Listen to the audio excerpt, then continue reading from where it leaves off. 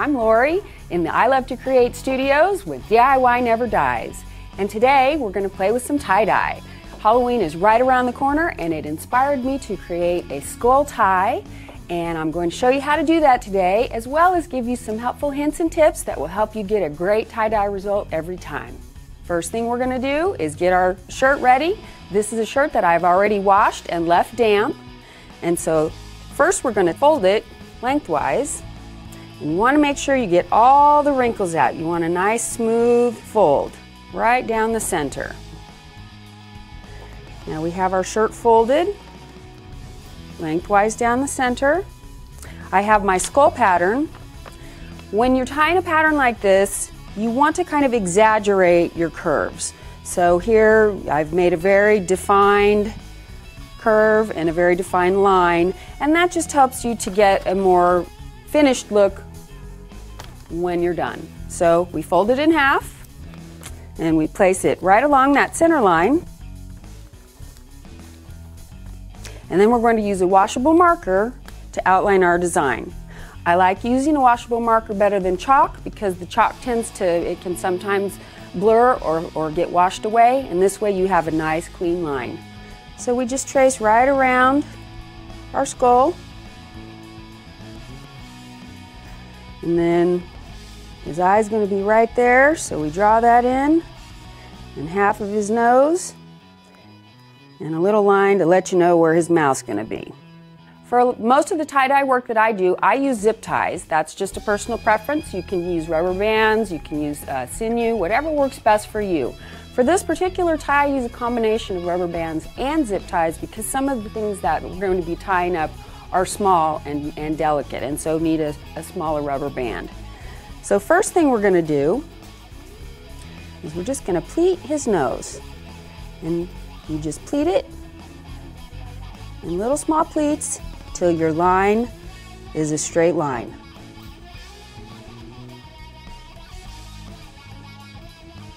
And tie it off with a small rubber band. Take your time on these steps. This is the most important part of your design. So take your time and really try to get those lines, those pleated out straight.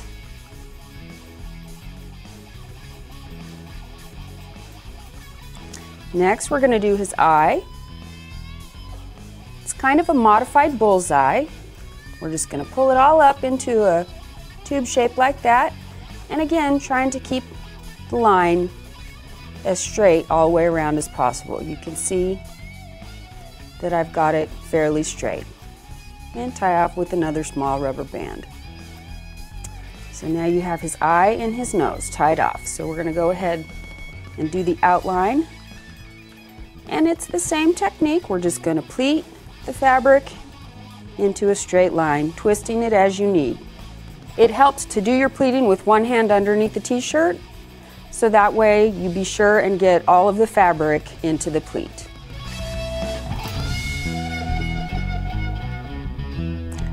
And as you can see here, I have my skull shape in a straight line. For this, I'm going to use a zip tie.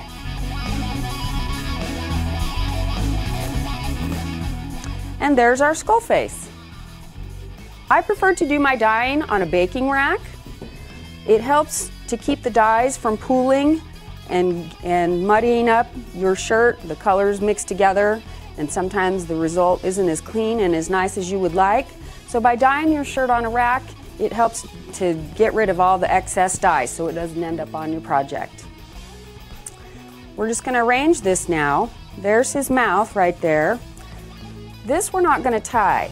We're just going to kind of pinch it up, again making sure you have both thicknesses of the fabric with the line on top like that.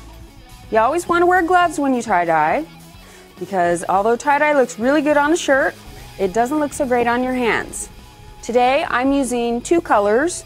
We're going to use purple and black. All right, let's do some tie-dyeing. You want to make sure your dyes are mixed well. When you shake them, be sure to put your finger over the cap I like to use a paper towel over the lid of the, of the bottle when I open it just to avoid any overspray. This is our black dye and we're going to dye our face now. We want to make sure that the eye is up nice and tall, so you only get the dye on that area. Same thing with the mouth portion and his nose as well. So we're just gonna slowly and carefully apply a little black dye. Make sure that the eye nice and saturated. And then just a little bit here for the nose. See how nice? The dye just runs right off. Cools down below and it's not gonna muddy up our shirt. Now for his mouth, we're just gonna apply a few dots of color right along that line. I want him to be outlined so that you see the outline of the face. So I'm going to go ahead and continue with my black dye outside of the zip tie.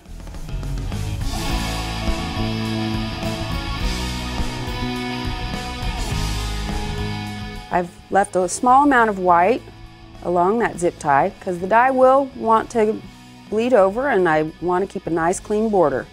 So we'll just apply as much dye as we like. I'm going to accent my design now with purple dye.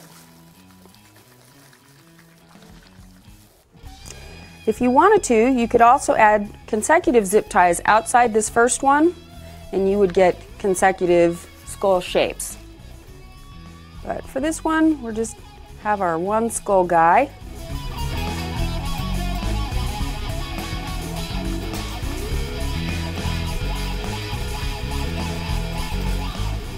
So now that we've got our shirt dyed in the colors and the patterns that we want, we're going to wrap it in plastic and allow it to sit six to eight hours or overnight. Today we just used the two colors, but we have an endless variety of dye colors that you could use to really personalize this shirt and make it your own. You're on your way to some fun Halloween times, and I'm Lori in the I Love to Create Studios and DIY Never Dies.